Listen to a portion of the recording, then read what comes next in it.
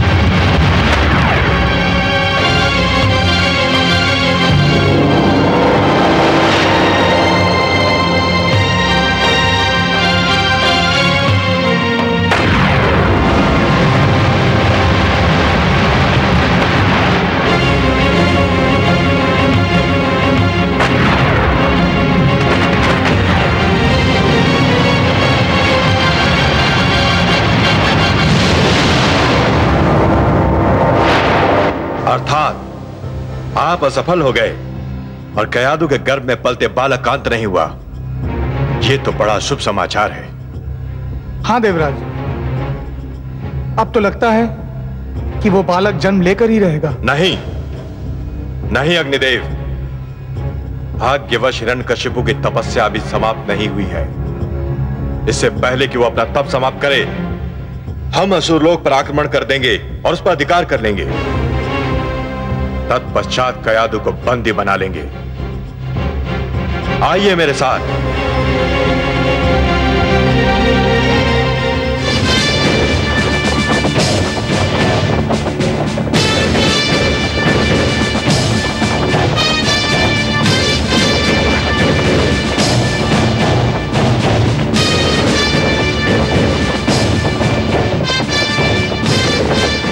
सारथी रथ रोको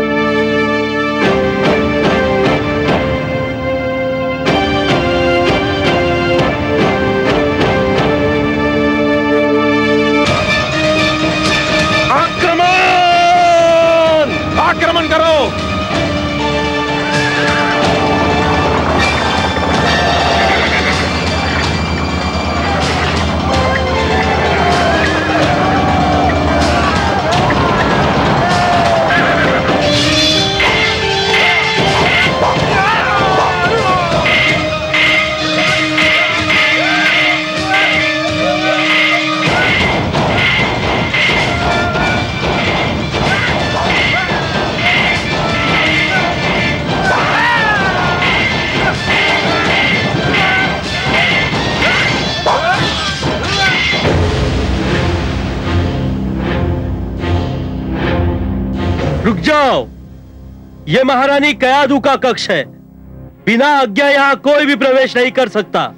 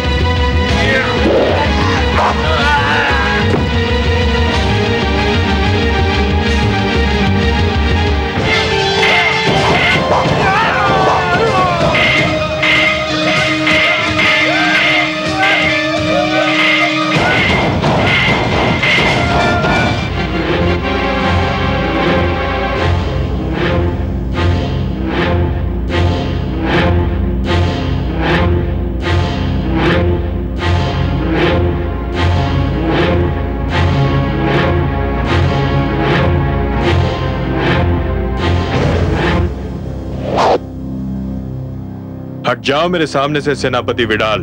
नहीं, देवराज, मेरे जीवित रहते आप महारानी कयाधु के कक्ष में प्रवेश नहीं कर सकते। प्रवेश तो मैं करूँगा। अब यदि इसके लिए तुम्हारा जीवित न रहना आवश्यक है तो फिर ऐसा ही होगा। परंतु मेरा परामर्श मानो तो आत्महत्या मत करो। मुझे अंदर जाने दो। मैंने अपने महाराज हिरण्यकशिपु को वचन दिया है कि अपनी अंतिम सांस तक महारानी की रक्षा करूँगा। और वचन मैं निभाना भी जानता हूँ या! Yeah!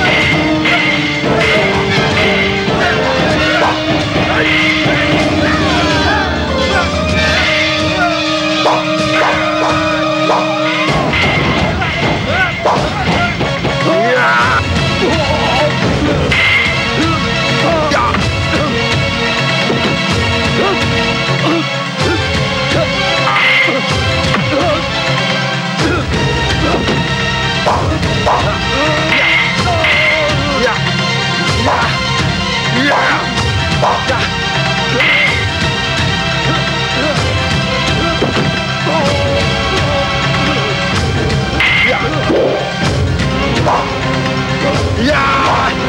Yeah!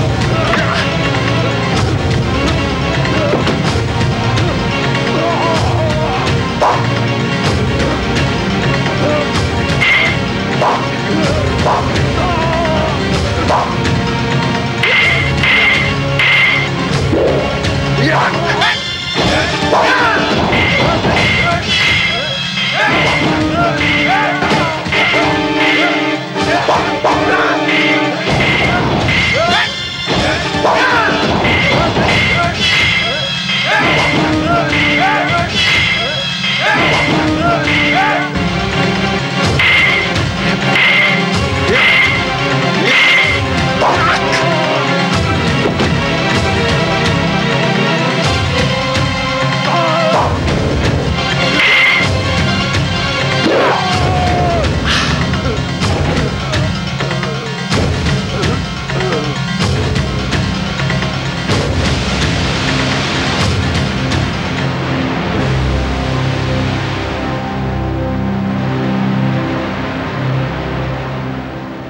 सैनिकों संपूर्ण असुरलोक को पूरी तरह तहस नहस कर दो। कुछ भी बचने न पाए। मैं महारानी कयाधु के कक्ष की ओर जा रहा हूँ। ध्यान पूर्वक मेरे आदेश का विलंब पालन हो। जाओ।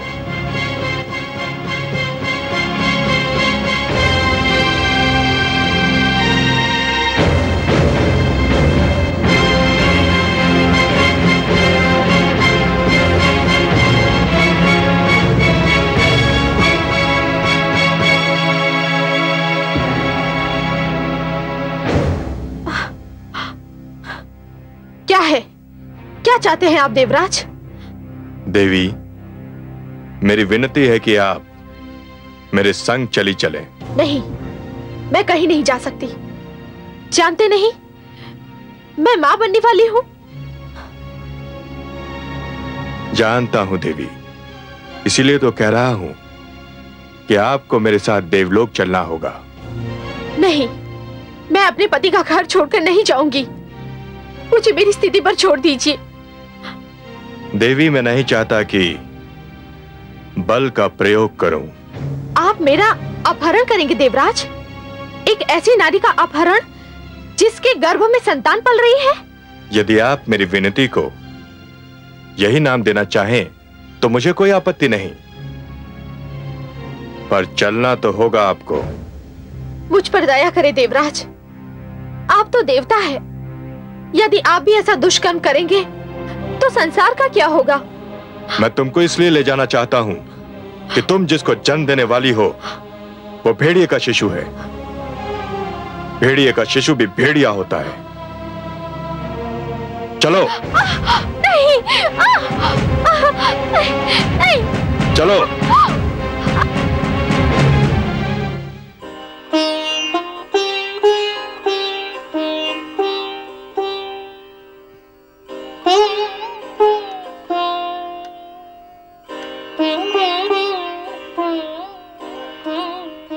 आपका दुख समझ रहा हूँ प्रिय। मुझे देवराज से ये आशा न थी। एक अबला से ये व्यवहार और अबला भी वो जो माँ बनने वाली है। मैं स्वयं भी बहुत दुखी हूँ प्रिय। बहुत दुखी। नारी का अपहरण? फिर चाहे कोई भी कारण क्यों ना हो कोई भी स्थिति क्यों ना हो फिर चाहे कोई नीति या कूटनीति का अंश ही क्यों ना हो परंतु एक महान पाप है। एक अक्षम्य अपराध है। और यदि ये पाप या अपराध देवगण ही करने लगे तब तो फिर अंधेर है। देवता मानव के आदर्श है। और यदि देवता ही दुराचार करने लगे तो मानव किसका अनुसरण करेगा? कयाधु को बचाइए देवेश्वर। कयाधु को बचाइए। नहीं। चलो। नहीं। आओ। आओ मेरे साथ। आओ मेरे साथ। नारायण नारायण। क्षमा करें देवराज, मैं कदाचित अनुचित समय पर आ गया। आप ये जो महान कार्य कर रहे हैं, इसमें संभवतः मैंने बाधा डाल दी। मुझे इसका खेद है। आप व्यंग कर रहे हैं देवर्षि। मुझमें इतना साहस कहाँ देवराज, कि मैं आप जैसे महान व्यक्तित्व पर व्यंग करूँ? आप देवताओं के राजा हैं। सबको चरित्रवान बनने, सत्य मार्ग पर चलने के उपाय बताते हैं। आप पर तो वही व्यक्ति व्यंग कर सकता है, जिसे अपने प्राणों की चिंता न हो। पर मैं क्या पूछ सकता हूँ देवराज? कि ये आप क्या कर रहे हैं और क्यों कर रहे हैं?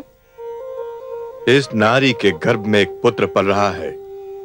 यह माँ बनने वाली है। यह कोई नया समाचार नहीं है देवराज।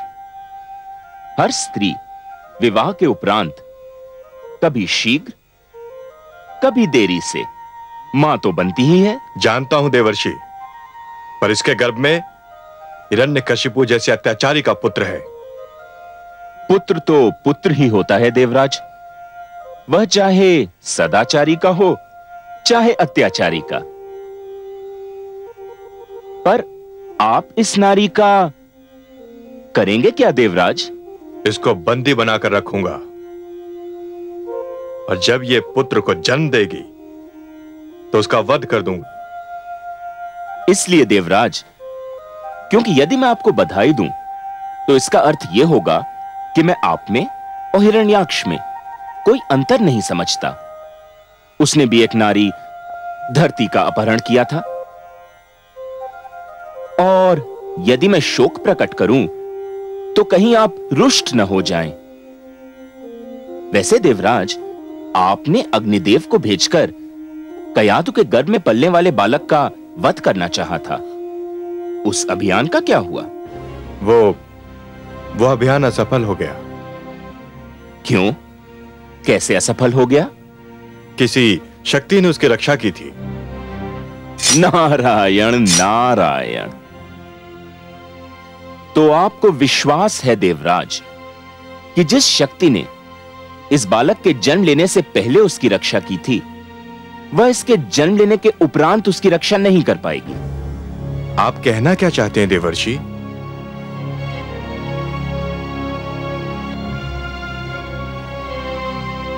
कुछ नहीं। इतना ही कि जिस शक्ति ने अब तक इस बालक की रक्षा की, उस शक्ति का अवश्य कोई उद्देश्य रहा होगा। हो सकता है एक ऐसे बालक का जन्म हो, जो असुरों का इतिहास ही बदल दे, उनकी नीतियाँ बदल दे। मेरा परामर्श स्वीकार करें देवराज। इस अबला को छोड़ दें। नारी का अपहरण एक घिनौना और एक अप्रिय कार्य है। फिर वह कार्य देवता के ही हाथों क्यों न हुआ हो? आप जिनको प्रसन्न करने के लिए यह कार्य कर रहे हैं, उन्हें कोई प्रसन्नता नहीं होगी। छोड़ दीजिए सबला को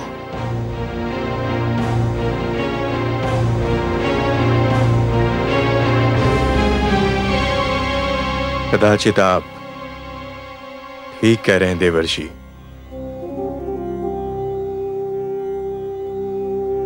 क्रोध की भावना मुझसे एक अनुचित कार्य करवा रही थी। आपको धन्यवाद कि आपने मेरा मार्गदर्शन कर दिया। सत्य है कि आप महानतम मार्गदर्शक हैं।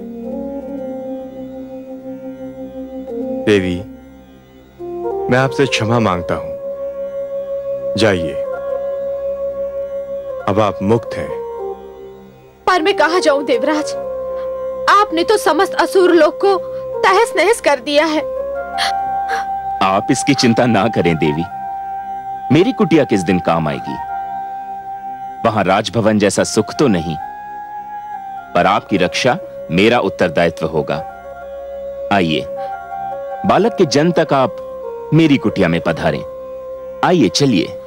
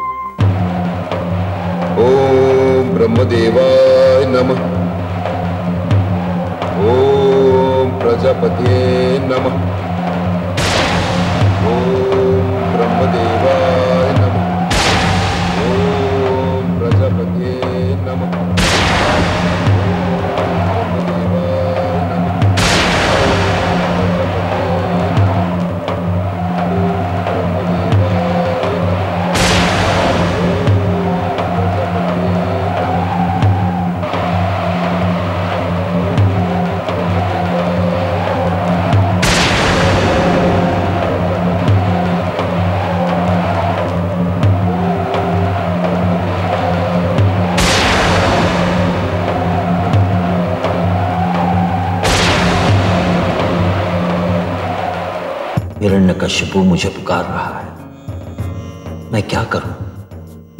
जाऊँ या ना जाऊँ? नहीं जाता हूँ तो मुझ पर दोष लगेगा कि मैं अपने भक्तों की पुकार नहीं सुनता।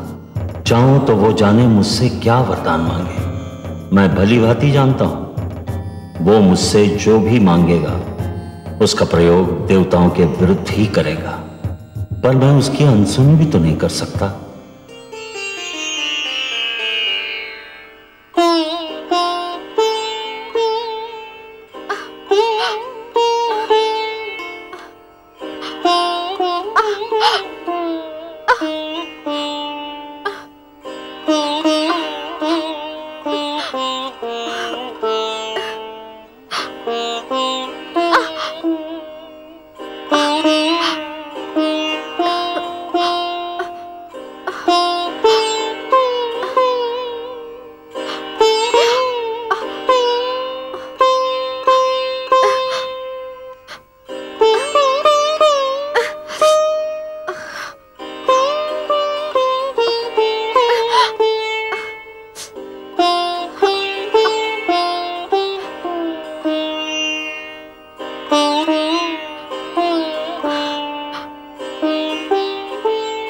देवी।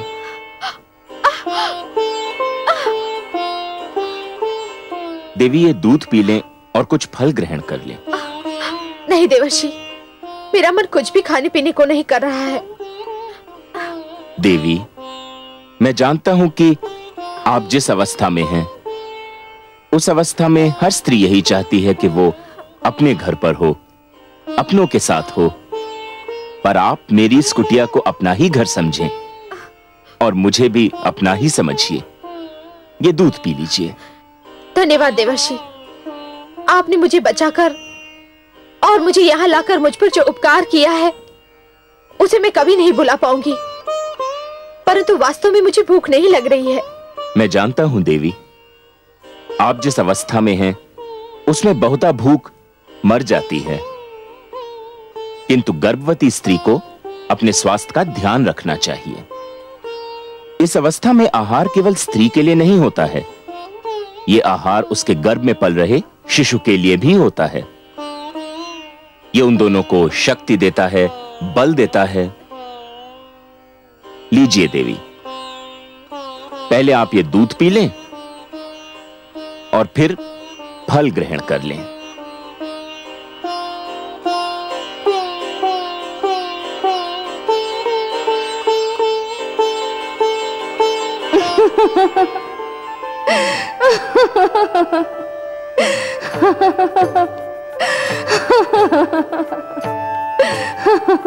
क्या हुआ महादेवी? हे कमल नयन हमारे देवर्षि तो कयाधु को ऐसे समझा रहे हैं और उसकी इस प्रकार सेवा कर रहे हैं जैसे कि वो बहुत ही अनुभवी और जानकार व्यक्ति हो। विराजिए महादेवी देवर्षि जो कर रहे हैं उसका संबंध अनुभव और ज्ञान से नहीं है। प्रेम और सहानुभूति की भावना से है। कोई भी यदि जीवन से प्रेम करने लगे, मन में प्राणियों के प्रति सहानुभूति की भावना रखे तो प्रकृति आप ही सब कुछ सिखा देती है, सब कुछ समझा देती है।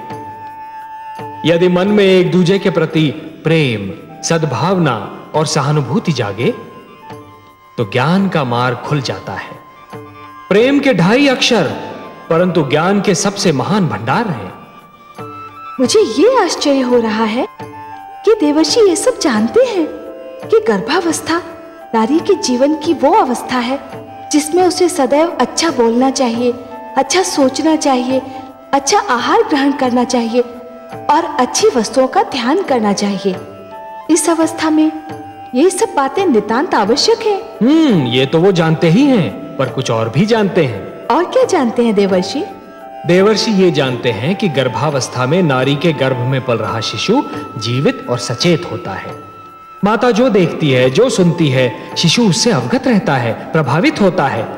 तभी तो देवर्षि उसे सुंदर सुंदर बातें कह रहे हैं। देखिए ना महादेवी, देवर्षि उसे क्या कह रहे हैं?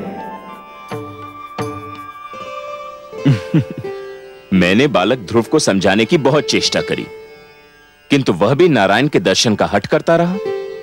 और वह दर्शन करके ही माना। आप तो बड़ी मनमोहक बातें करते हैं देवर्षि। देवी माता लक्ष्मी भी यही कहती हैं कि मैं बड़ा बातूनी हूँ। किंतु आपसे अपनी सबसे मनमोहक बात तो मैंने अभी तक नहीं कही। सुनिएगा। अवश्य सुनूँगी। आपकी तो एक एक बात मेरे कानों से होकर मेरे मन में उतर जाती है। क्या है आपकी सबसे मनमोहक बात? देवी अपनी बात जो मुझे सबसे मनमोहक, सबसे प्रिय और सबसे सुंदर लगती है, वो है बस ये चार शब्द। ओम नमो भगवते वासुदेवाय। ओम नमो भगवते वासुदेवाय। ओम नमो भगवते वासुदेवाय। ओम नमो भगवते वासुदेवाय। ओम नमो भगवते वासुदेवाय। ओम नमो भगवते वासुदेवाय। ओम ब्रह्मदेवाय नमः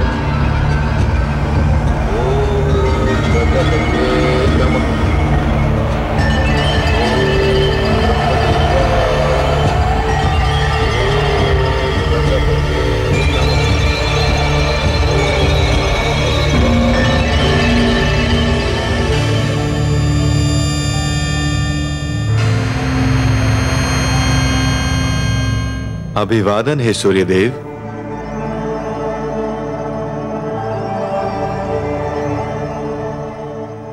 देवराज आप? हाँ। परंतु मैं देवराज तो देवताओं के लिए हूँ। आपका तो अनुज हूँ। आप मेरे ज्येष्ठ भ्राता हैं। परंतु आप आज मार्ग कैसे भूल पड़े? मैं बहुत कष्ट में हूँ सूर्यदेव। आप कष्ट में हैं? कौन कष्ट दे रहा है? असुर राज हिरण्य कशिपु। हिरण्य कशिपु क्या किया है उस दुष्ट ने? वो ब्रह्मा की कृपा के लिए बड़ी घोर तपस्या कर रहा है। उसकी तपस्या का उद्देश्य हम देवताओं को परास्त करना और जगदीश्वर विष्णु से प्रतिशोध लेना है। आपको हमारी सहायता करनी होगी। तो आदेश दे मैं क्या सेवा कर सकता हूँ? वो हिमालय पर्वत पर तपस्या कर रहा है। मैं चाहता हूँ कि आप आज थोड़े समय के लिए उसके निकट अपना रथ रोक लें। बस इतनी देर कि वहाँ का तापमान इतना बढ़ जाए कि वो सहन न कर सके और अपना तप त्याग दे। मुझे आपत्ति तो नहीं है देवराज परंतु यदि मैं वहाँ ठहर गया तो केवल आसपास नहीं दूर दूर तक उसका प्रभाव पड़ेगा। हिम पिघलने लगेगा। नदियों में बाढ़ आ जाएगी। समस्त वनस्पति समाप्त हो जाएगी। बहुत बड़ा संकट आ जाएगा देवराज। हिरण्य कश्यपु की तपस्या सफल हो गई। तो उससे भी बड़ा संकट आ सकता है भ्राताश्री। जैसी आज्ञा देवराज परंतु मेरा परामर्श है कि यदि हिरण्य कश्यपु ब्रह्मा की तपस्या कर रहा है तो आप ब्रह्मा से प्रार्थना कीजिए कि वो हिरण्य कश्यपु को कोई ऐसा वरदान ना दें जो हमारे लिए संकट खड़ा कर दे। वो तो मैं करूँगा। वास्तव में मैं वहीं जा रहा हूँ। पर आपको भी अपना उत्तरदायित्व तो निभाना होगा। अवश्य देवराज आपके आदेश का पालन होगा।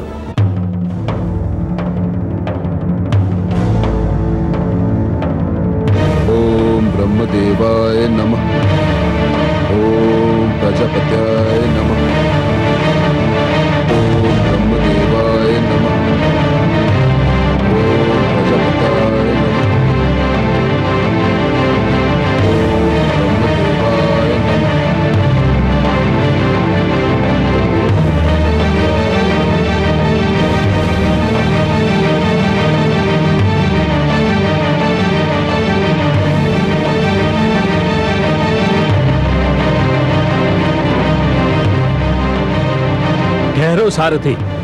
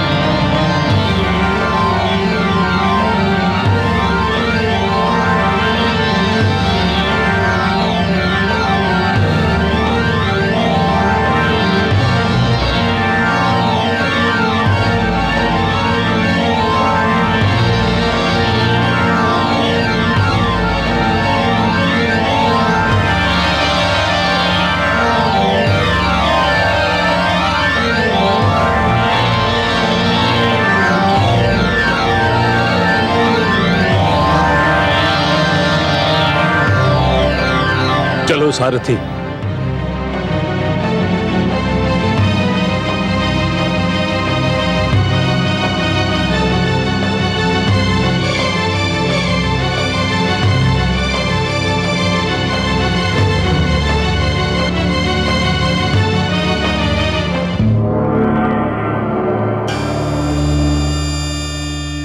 प्रणाम है प्रजापति। स्वागतम देवराज। हे आदि प्रजापति आपसे एक विनती करने आया हूँ। कहिए देवराज क्या बात है? हे ब्रह्मा आप तो जानते हैं कि असुरराज हिरण्य कशिपु आपकी तपस्या कर रहा है। हाँ मैं जानता हूँ। और उसकी तपस्या ने मुझे भी चिंतित कर रखा है। हे आदि प्रजापति हम देवताओं की विनती है कि आप उसे कोई वरदान न दे। वो केवल हमारा नहीं आपके प्रिय पुत्र मानव का भी शत्रु है। आप उसे जो भी देंगे, उसका हमारे और मानवों के विरुद्ध ही प्रयोग होगा। उसकी तपस्या तपस्या नहीं, मात्र छल है। संभवतः आप जो कह रहे हैं, उचित कह रहे हैं। परंतु समस्या यह है कि अभी तक तपस्या और वरदान के उद्देश्यों की परिभाषा नहीं बनी है। सीमा निर्धारित नहीं हुई है। मैं स्वयं सोचता हूँ कि केवल यह ज्ञान पर्याप्त है कि कोई तपस्या कर रहा है। यह ज्ञान आवश्यक नहीं कि वह तपस्या क्यों कर रहा है। किसी की तपस्या उसके अतिरिक्त शेष सबके लिए हितकर है या कष्टदायक? पर वरदान देने वाले का उत्तरदायित्व तो इससे भी महान होना चाहिए आदि प्रजापति। निस्संदेह होना चाहिए। वरदान देने वाले के लिए भी यह आवश्यक है कि वो केवल तपस्या से प्रसन्न न हो जाए, उसे तपस्या के उद्देश्य में भी झाँक कर देखना चाहिए। वो तपस्या जो औरों के लिए हानिकारक हो, वरदान के योग्य नहीं होती।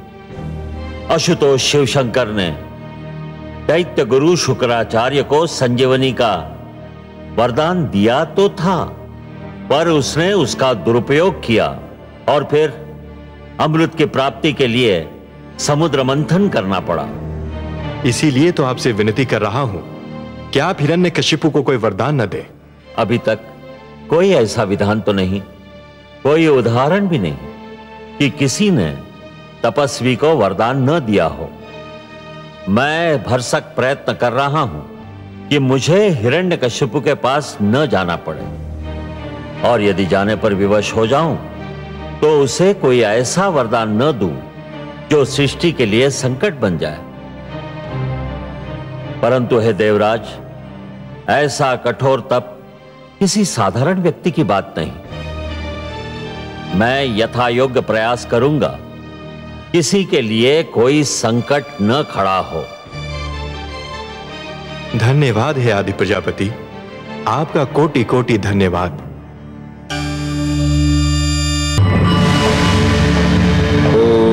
ओम नम। ओम प्रजापत्याय नमः। ओम ब्रह्मदेवाय नमः। ओम प्रजापत्याय नमः। ओम ब्रह्मदेवाय नमः।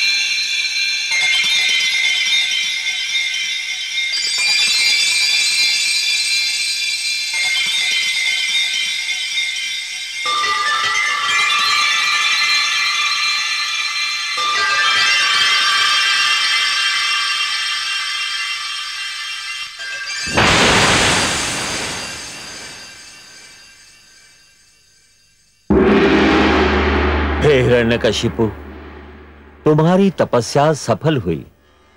नेत्र खोलो।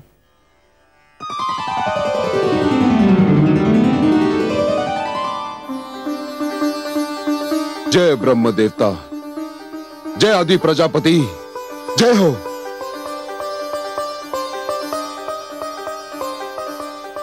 मांगो। वरदान मांगो। तुम्हारी तपस्या ने मुझे प्रसन्न कर दिया है। क्या चाहिए तुम्हें? हे विधाता यदि आप मेरे कठोर तप से प्रसन्न हैं तो मुझे ये वरदान दीजिए कि मैं मृत्यु पर विजय प्राप्त कर लूँ। असंभव। हे हिरण्य कशिपु तुम वो वरदान मांग रहे हो जिसे देना मेरे वश में नहीं। जीवन और मृत्यु सृष्टि के ऐसे नियम हैं जिन्हें कोई नहीं तोड़ सकता। यदि यह नियम टूट जाएगा तो सृष्टि का संतुलन बिगड़ जाएगा।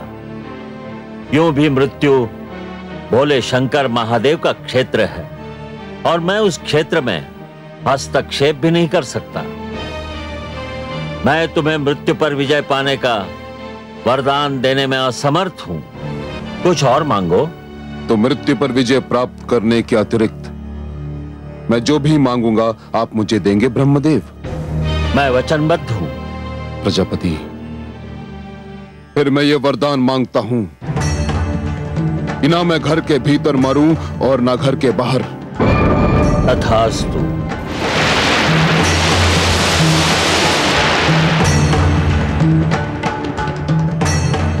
ना मैं दिन में मरूं और ना रात में। तथास्तु।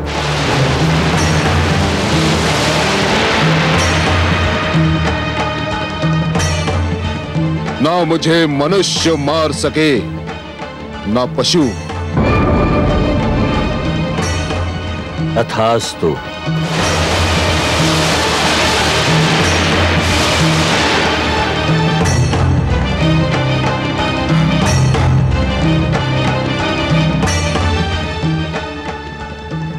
ना मैं अस्त्र से मर सकूँ ना शस्त्र से। तथास्तु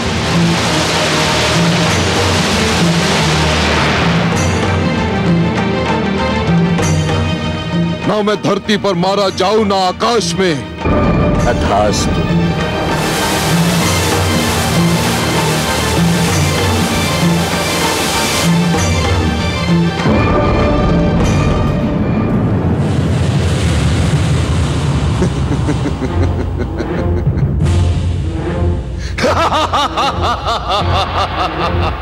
हे विष्णु!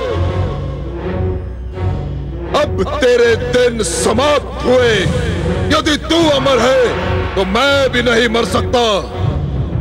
मैंने ब्रह्मा को भरमा दिया। मैंने उन्हें अपने शब्दों के जाल में फंसाकर उनसे वही वरदान मांगा जो वो नहीं देना चाहते थे। विष्णु, अब मैं सर्वशक्तिमान हूँ। सर्वशक्तिमान हिरण्य कश्यपु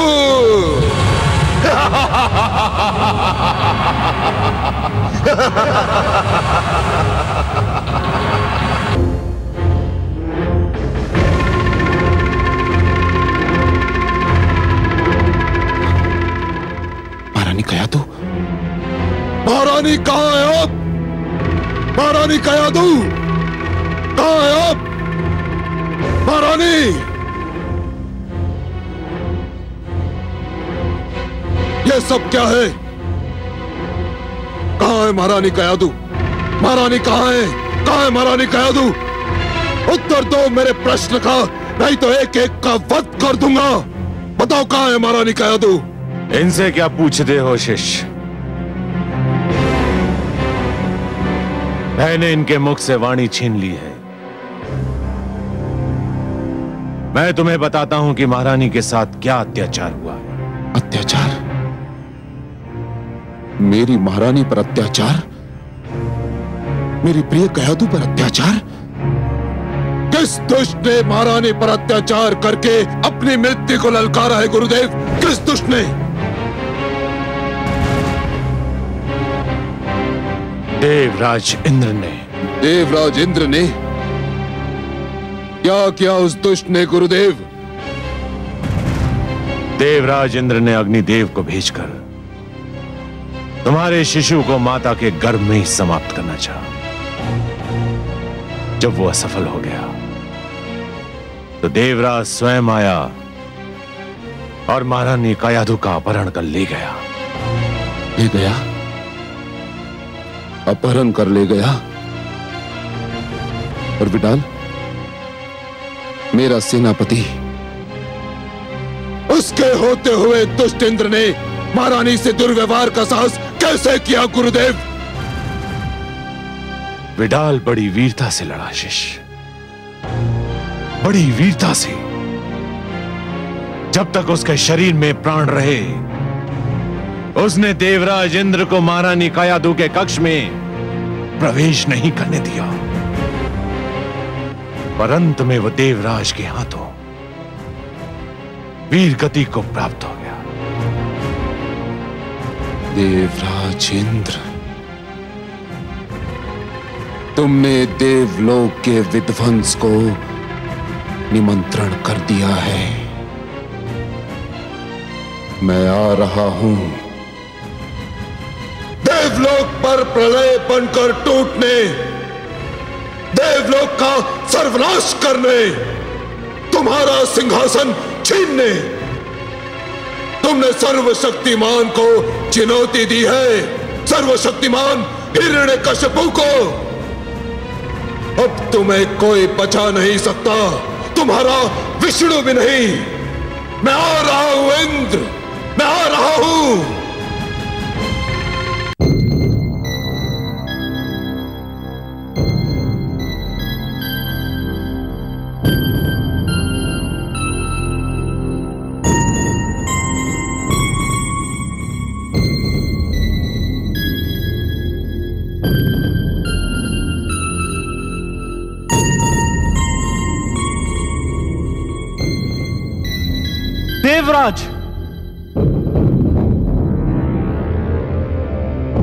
चित्ररथ युद्ध भूमि से क्या समाचार लाए हो?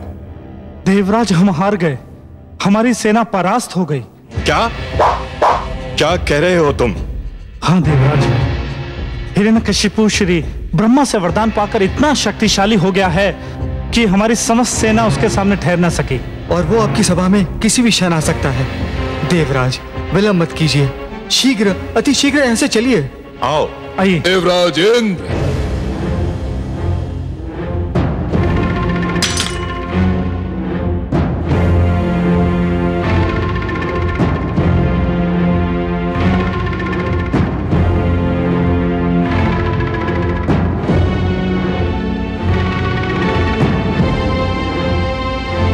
देवराज इंद्र अपने अस्त्र फेंक दो और अपनी पराजय स्वीकार कर लो।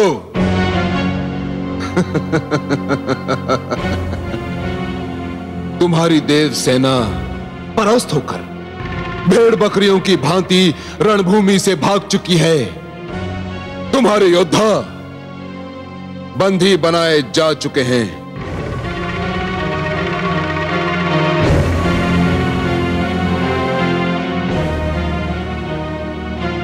तुम अब देवराज नहीं। एक दुर्बल और शक्तिहीन व्यक्ति रह गए हो। फेंक दो अपने शस्त्र।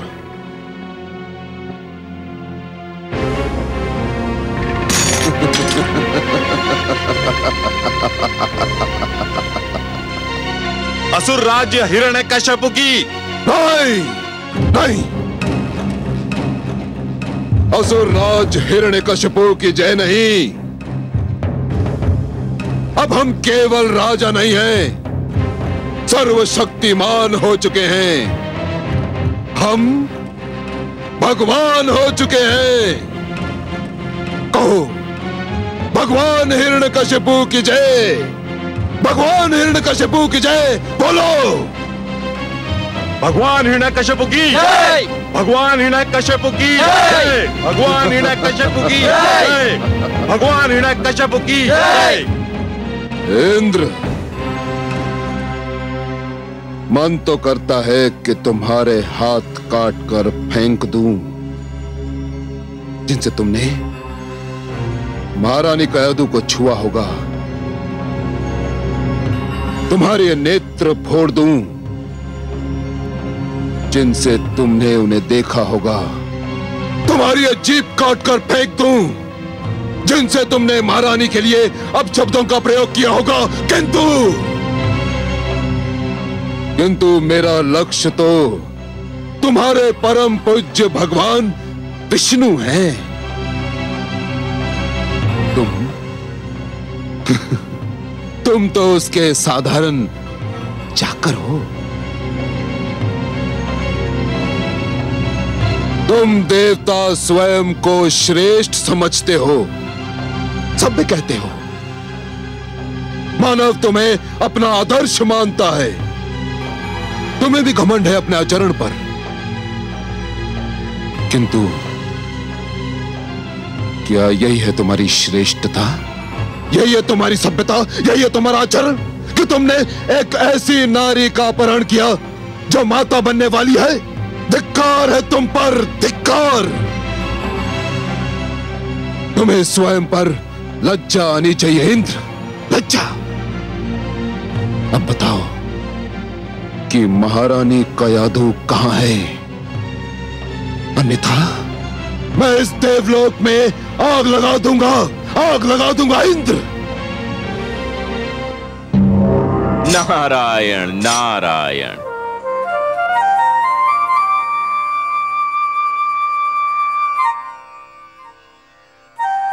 हे असुरराज आग की लपटें महारानी कयादू की कुशलता का समाचार नहीं दे सकती। वह तो केवल मैं दे सकता हूँ क्योंकि आपकी महारानी मेरे आश्रय में है।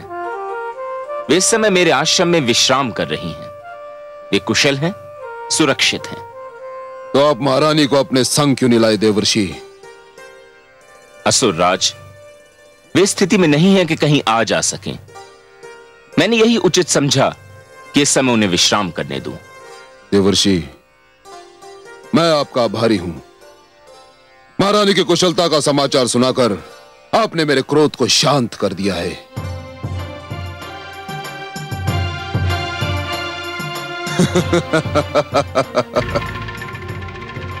इसी सिंहासन पर बैठकर तुम स्वयं को महान समझते थे ना? इसी सिंहासन ने तुम्हें महानता प्रदान की थी ना? किंतु अब यह जान लो इंद्र, कि ये सिंहासन अब मेरा है और मेरा ही रहेगा। और तुम सबको मेरी महानता के समक्ष सिर झुकाना ही होगा। सेनापति अश्वमित्र। आज्ञा भगवान। देवराज इंद्र को समस्त देवताओं सहित देवलोक की सीमाओं से बाहर निकाल दो। और इनमें से यदि कोई भी उत्पाद करने की चेष्टा करे तो उसके पैरों में बेड़ियाँ डालकर कारागार के अंधेरों में फेंक दो। जाओ। जो आज्ञा भगवान। चलिए।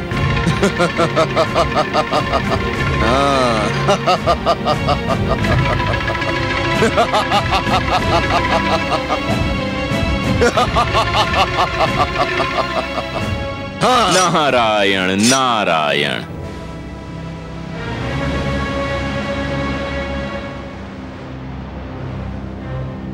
देवर्षि नारद मुझे विष्णु के नाम से घृणा है किंतु आपने महारानी की रक्षा करके मुझ पर ऋण का ऐसा बोझ रख दिया है कि मैं जीवन भर अपना सिर नहीं उठा सकता।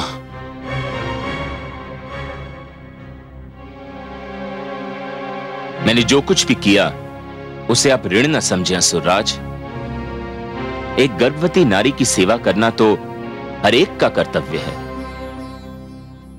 महारानी कयादू के मुख पर से तो इस अवस्था में तेज की किरणें फूटती दिखती हैं।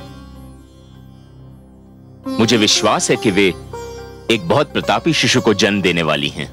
देवर्षि ये कहकर तो आपने मेरी व्याकुलता और भी बढ़ा दी है। मैं महारानी को अभी और इसी समय देखना चाहता हूँ। आइए। चलिए।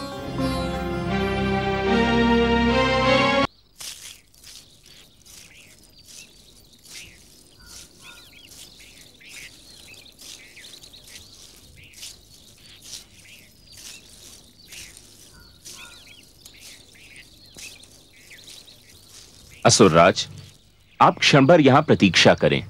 मैं महारानी कयाधु को आपके आने की सूचना दे दूँ।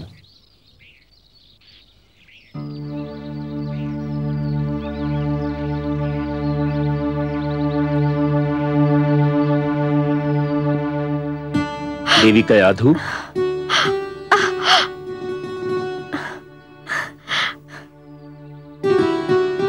आप आ गए देवर्षि मैं अकेली कब से घबरा रही थी? देवी कयाधु अब न तो आप अकेली रहेंगी और न ही आपको घबराहट होगी क्योंकि मैं अपने साथ आपके अकेलेपन और घबराहट दूर करने की सामग्री लाया हूँ। क्या? मैं आपके पति असुरराज हिरण्यकश्यपु को अपने साथ लाया हूँ। असुरराज?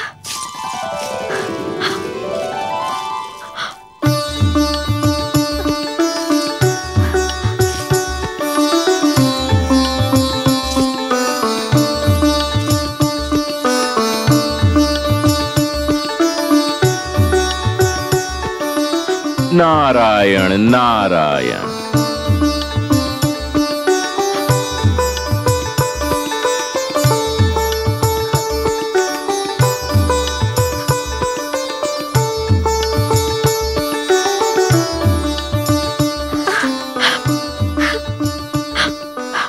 महारानी कैसी हो? देवर्षि की कृपा से मैं बिल्कुल ठीक हूँ, महाराज। उन्होंने मुझे देवराज से छुड़ाकर यहाँ आश्रय दिया और मेरी ऐसी देखभाल की जो राजभवन में भी संभव नहीं थी। महारानी देवराज इंद्र को अपने किए का फल मिल चुका है। किंतु देवर्षि नारद के उपकार को चुकाना मेरे लिए कभी संभव नहीं होगा। उन्होंने आपको और मेरी होने वाली संतान को बचाकर मुझे जीवन भर अपना आभारी बना लिया है। किंतु अब आपको चिंता नहीं करनी चाहिए। चलिए राजभवन चलते हैं। हमारी संतान वहीं जन्म लेगी महारानी। नहीं महाराज। क्यों? इस कुटिया में मुझे वह आनंद और स्नेह मिला है। जो मुझे राजभवन में भी नहीं मिल सकता। यहाँ मैंने एक ऐसी सुरक्षा का अनुभव किया है, जो मैंने अपने जीवन में कभी नहीं पाई। हे महाराज, मेरी इच्छा है कि मेरी संतान का जन्म यही हो।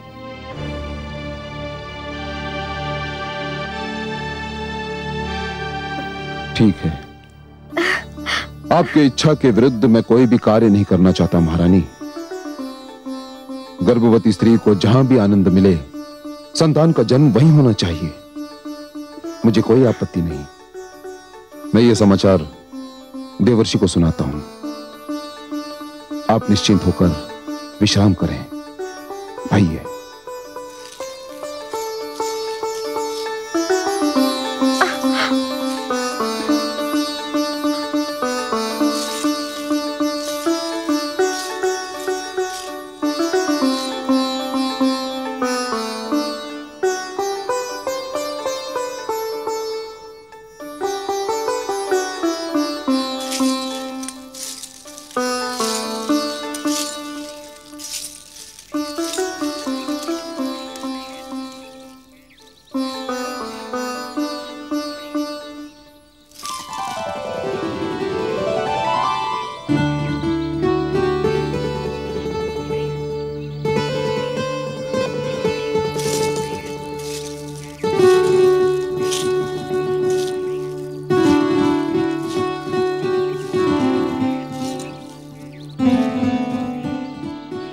मुझे विष्णु और उसके भक्तों से अपार घृणा है। मैं ये भी जानता हूँ कि आप इस सृष्टि में विष्णु के महानतम भक्त हैं। और मैं चाहते हुए भी आपसे घृणा नहीं कर पाता। आपने महारानी की रक्षा करके बस बस, असुरराज। और कुछ कहने की आवश्यकता नहीं है। आप इस बात को इतनी बार कह चुके हैं कि मुझे तो कंठस्थ हो गई है। देवर्षि महारानी कायदू ने पुत्र के जन्म तक आपके आश्रम में रहने की इच्छा व्यक्त की है और मैं उनकी इच्छा के विरुद्ध उन्हें यहाँ से ले जाना नहीं चाहता। नारायण नारायण बड़ा शुभ विचार है। यदि महारानी कयादु को मेरी कुटिया में सुख मिलता है तो ये तो मेरे लिए सौभाग्य की बात है असुरराज। आप चिंता न करें। मैं उनकी यथा योग्य सेवा करूँगा। मेरी कुटिया में बीतने वाला हर दिन आपकी आने वाली संतान का हर संकट दूर करेगा। तो फिर मुझे जाने की अनुमति दीजिए देवर्षि।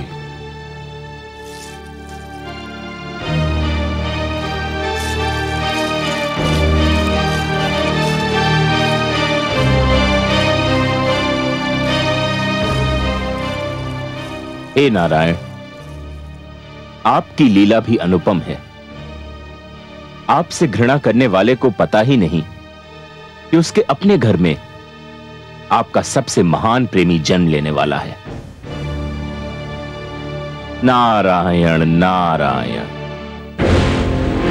भगवान हिरण्य कश्यपु की।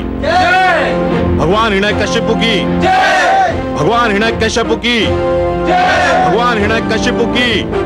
भगवान हिरण्य कश्यपु की भगवान हिरण्य कश्यपु की भगवान हिरण्य कश्यपु की भगवान हिरण्य कश्यपु की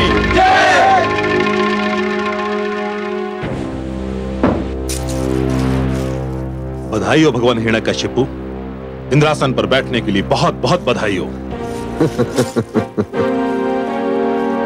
अब तो अप्सराएँ आपके संकेत पर नृत्य करेंगी। समस्त देवगण नतमस्तक होकर आपको नमस्कार करेंगे।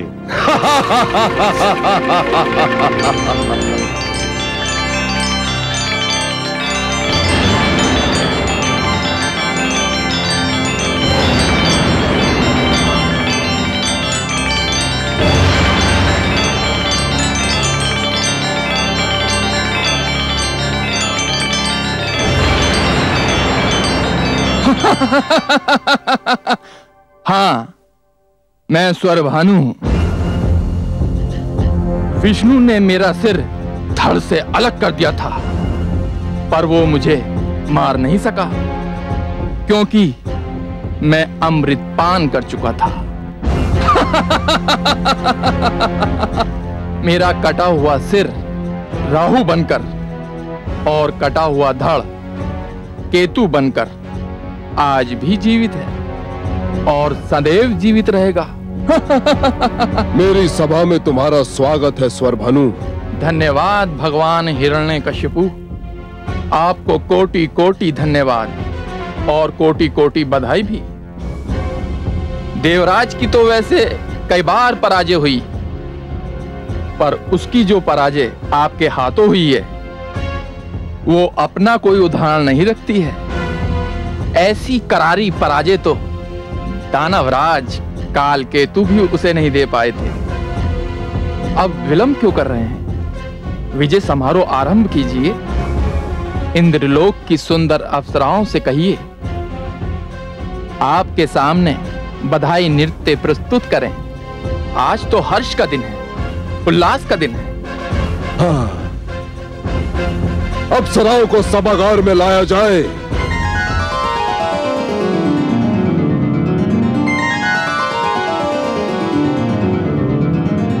देवलोक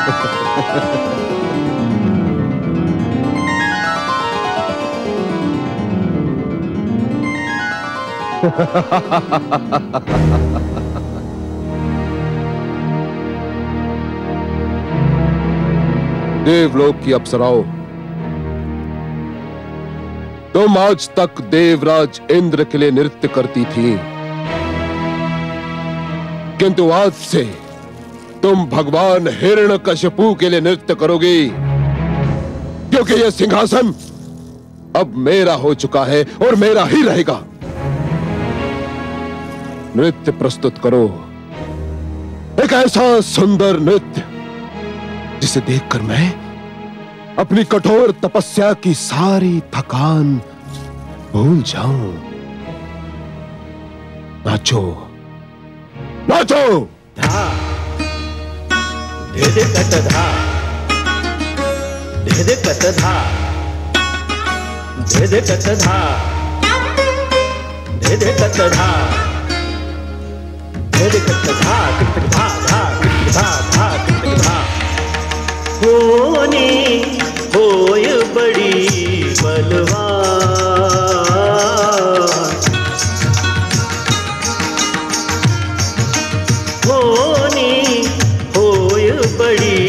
बलवान। एक वरदान मिला पापी को। एक वरदान मिला पापी को। बन बैठा भगवान। होनी होय बड़ी बलवान। दिख दिखता दिख दिखता दिख दिखता धा धा धा।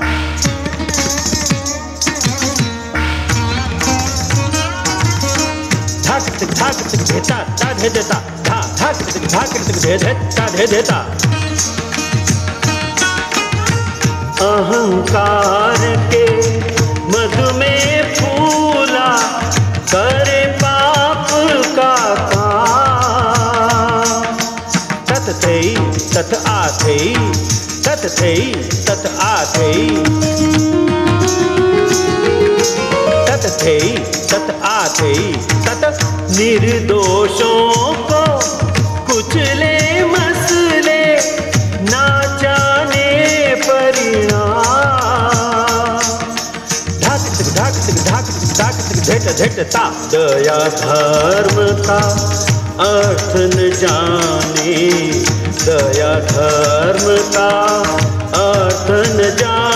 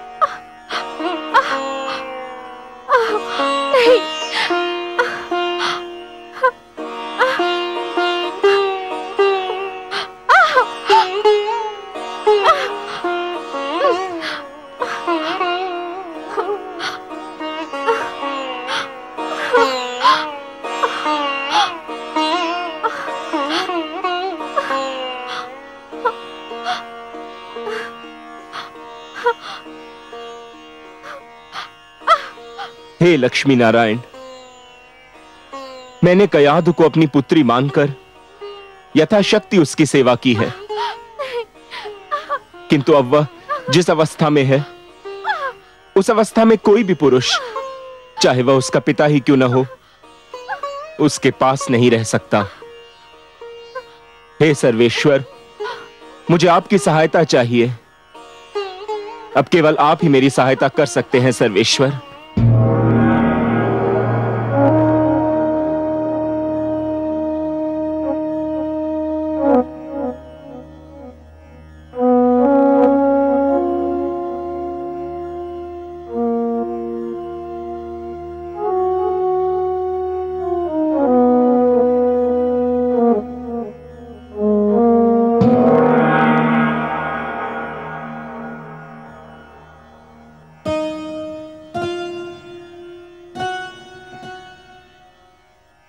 हे योग माया, आप देवर्षि के आश्रम में जाइए। महारानी कयाधु प्रसव पीड़ा की अवस्था में आ गई हैं। उनकी देखभाल का कार्यभार मैं आपको सौंपता हूँ। जो आज्ञा त्रिलोकीनाथ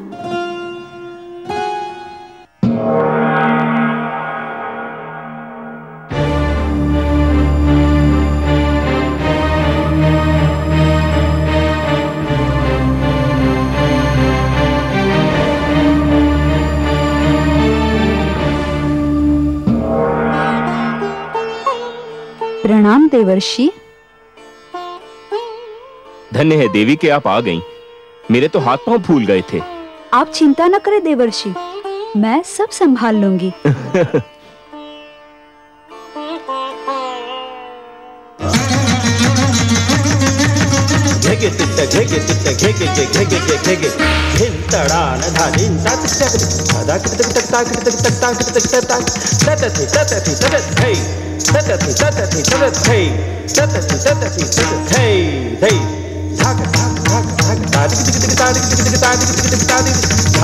तादिक धान धान धा। पाप का घट जिस दिन भी फूटे होगा इसका नाश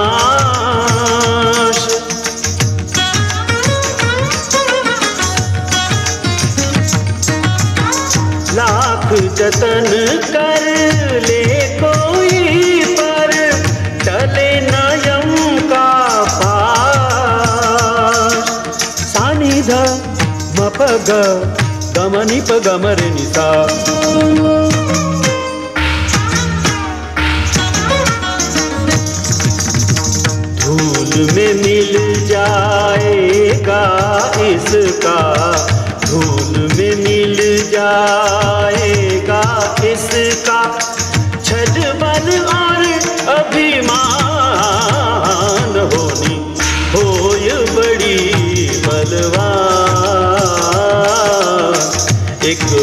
वरदान मिला पापी को।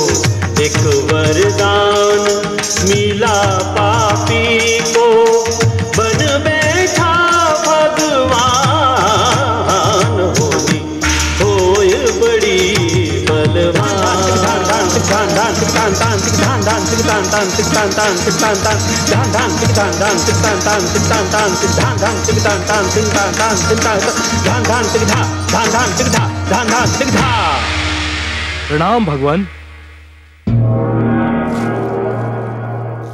भगवान हिरण्य कशिपु की जय हो।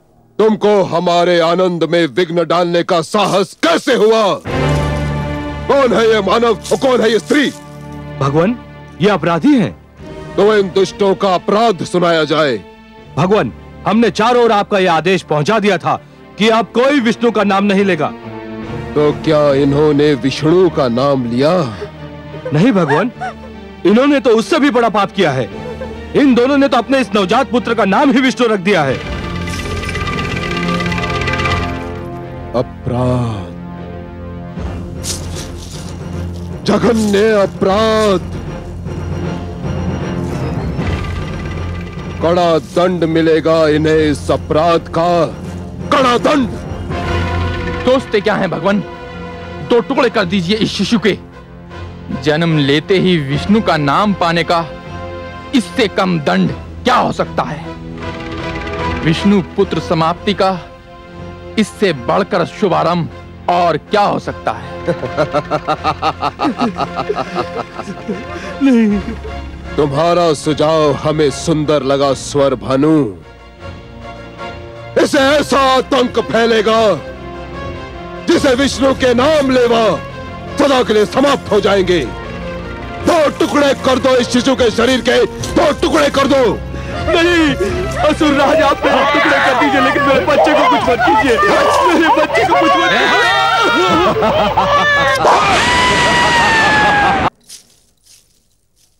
बधाई हो महाराज। देव ऋषि नारद ने समाचार भेजा है कि महारानी कयादु ने एक अत्यंत सुंदर पुत्र को जन्म दिया है। बधाई हो भगवान हिरण्य कशिपु बधाई हो। शुभ समाचार है ये। शुभ समाचार। ये तो बहुत ही शुभ शकुन है भगवान। अभी अभी विष्णु नाम के बालक का वध हुआ और अभी अभी ये सूचना मिली है कि आपके पुत्र ने जन्म लिया है। तुम सत्य कहते हो स्वर भानु शुभ शकुन है ये, शुभ शकुन। इसका अर्थ ये हुआ कि मेरा पुत्र विष्णु का मुझसे भी बड़ा शत्रु सिद्ध होगा।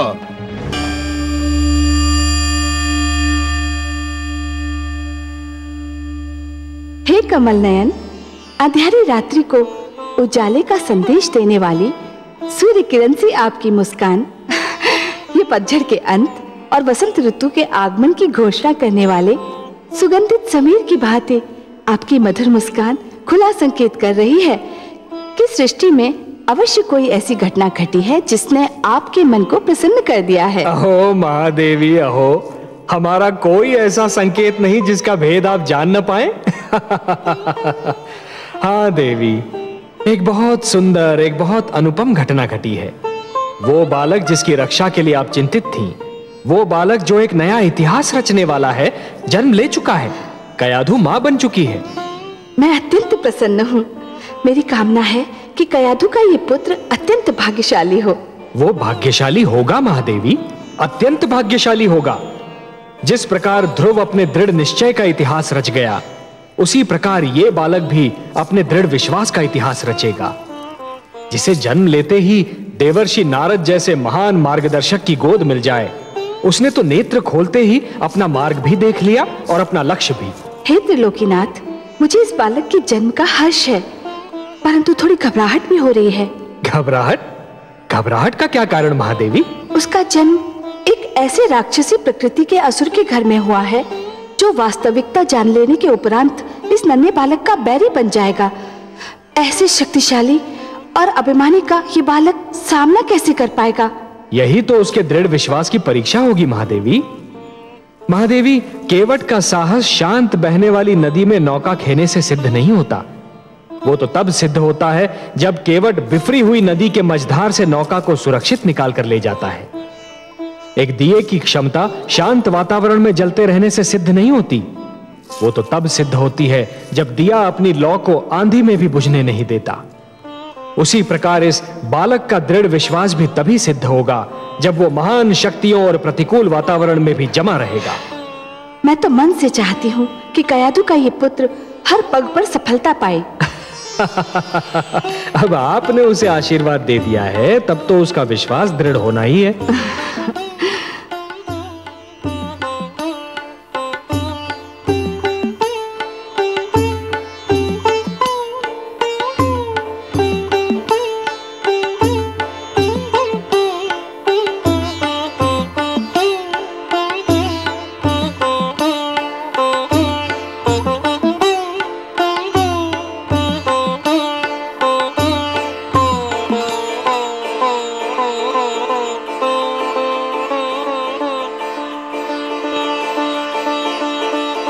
आयुष्मान भव पुत्र।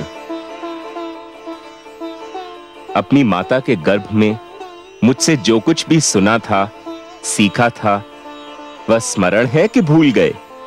ओम नमो भगवते वासुदेवाय। ओम नमो भगवते वासुदेवाय। बस बस पुत्र मैं संतुष्ट हो गया। तुमने तो मेरा पूरा पाठ कंठस्थ कर लिया है। ध्यान रखना पुत्र मैंने तुम्हें ईश्वर पर आस्था और विश्वास का मार्ग दिखाया है। यह विश्वास सृष्टि की महानतम शक्ति है। जो ईश्वर पर अडिग विश्वास रखता है, वह पर्वत से टकराए तो पर्वत झुक जाए, समुद्र से मिले तो समुद्र शांत हो जाए। सूर्य, चंद्रमा नक्षत्र मंडल जिसकी ओर भी दृष्टि डाले, वही उसका दास हो जाए। सृष्टि का पूरा भेद ही उसकी मुट्ठी में आ जाए। कठिन को सरल और असंभव को संभव बनाना उसके बाएँ हाथ का खेल होगा। पुत्र, इस मार्ग से कदापि नहीं हटना।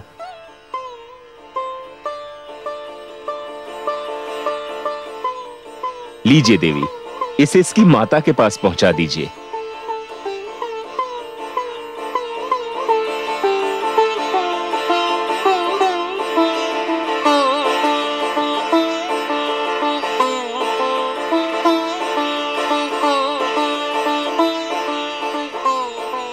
नारायण नारायण।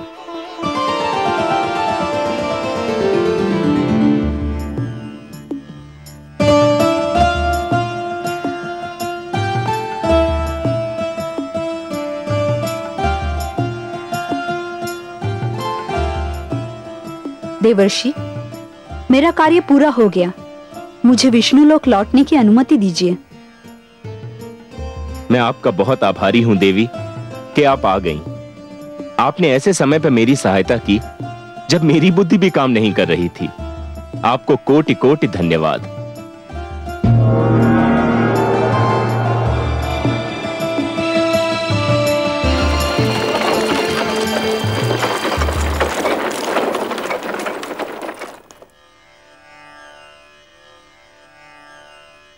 नारायण नारायण।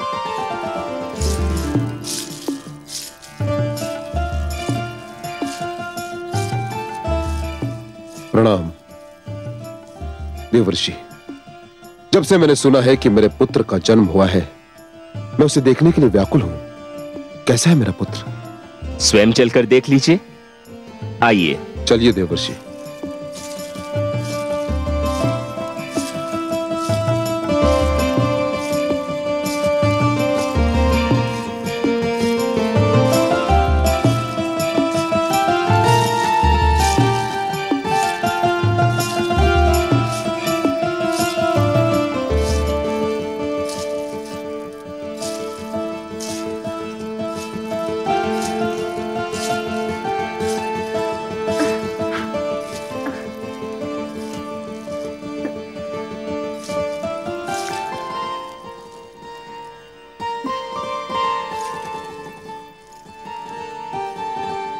सुंदर है मेरा पुत्र।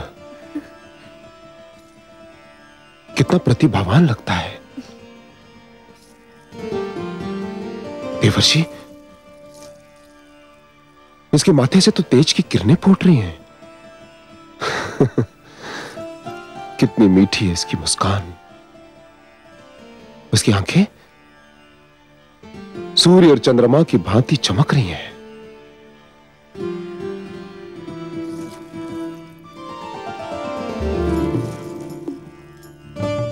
धन्यवाद महारानी। असुर वंश को इतना तेजस्वी पुत्र देने के लिए आपको कोटि कोटि धन्यवाद।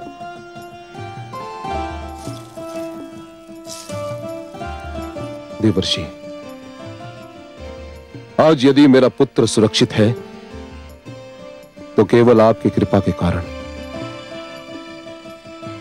असुर राज मेरी कृपा आपको इसलिए लग रही है, क्योंकि मैंने जो कुछ भी किया वो आपने देख लिया। आपके पुत्र पर तो धरती और आकाश से न जाने किस किस ने कृपा की है। आपने तो देख ही लिया कि इसके मुख पर कितना तेज है। देवर्षि, तीनों लोक में आपसे बड़ा ज्योतिष विद्या का ज्ञाता कोई नहीं। मेरी विनती है कि मेरे पुत्र का नामकरण आप ही करें नारायण नारायण। असुरराज आप पुत्र पाकर प्रसन्न हुए ना? प्रसन्न? अति प्रसन्न। हर्षित अति हर्षित देवर्षि। तो जो अत्यंत प्रसन्नता देता है असीम हर्ष प्रदान करता है उसे प्रहलाद कहते हैं। असुराज मैं आपके पुत्र का नाम प्रहलाद रखता हूँ। क्योंकि ये आपके जीवन में प्रसन्नता और आह्लाद लेकर आया है। प्रहलाद।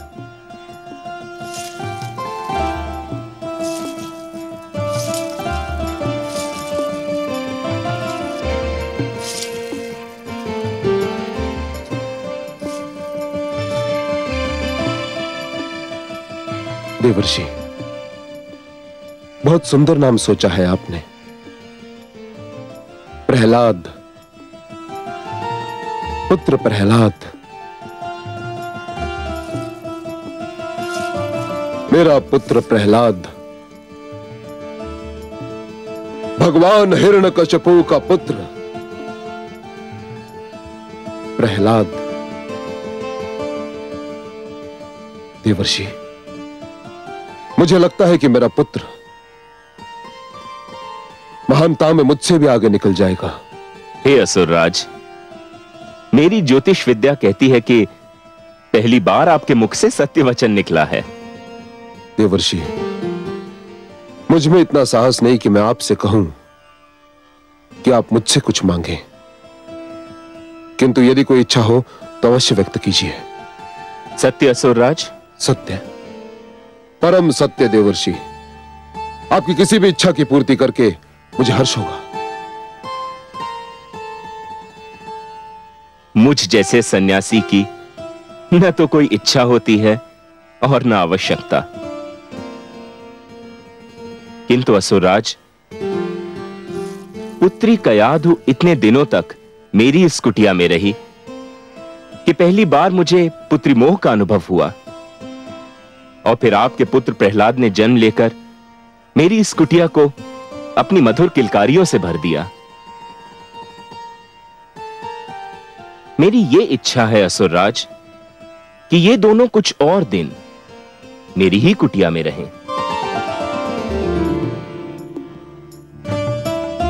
आपने तो मेरे मन की बात कह दी देवर्षि। मेरी भी इच्छा थी कि मैं और मेरा पुत्र आप ही के साथ रहें। मुझे तो देवर्षि की कुटिया स्वर्ग के समान लगती है। देवर्षि मैं आपकी इच्छा की पूर्ति के लिए वचनबद्ध हूँ। अपने पुत्र से दूर रहना मेरे लिए संभव नहीं। किंतु आपके उपकारों के आगे मैं नतमस्तक हूँ। मैं पुत्र प्रहलाद और महारानी को यही छोड़ जाऊँगा और आपको मुझे एक वचन देना होगा। कहिए सुराज, क्या चाहते हैं आप? देवर्षि, मुझे विष्णु से घृणा है, अपार घृणा। और आप विष्णु भक्ति के लिए विख्यात हैं। मुझे वचन दीजिए कि आप मेरे पुत्र के सम्मुख विष्णु का नाम कभी नहीं लेंगे, देवर्षि। कभी नहीं। मुझे वचन दीजिए। असुरराज, पुत्र कयादु और दौहित्र प्रहलाद के लिए मैं कुछ भी त्याग कर सकता हूँ। मैं आपको वचन देता हूँ कि मैं सब कुछ कहूँगा। किंतु आपके पुत्र के सम्मुख विष्णु शब्द का उच्चारण नहीं करूँगा। सुंदर अति सुंदर देवर्षि।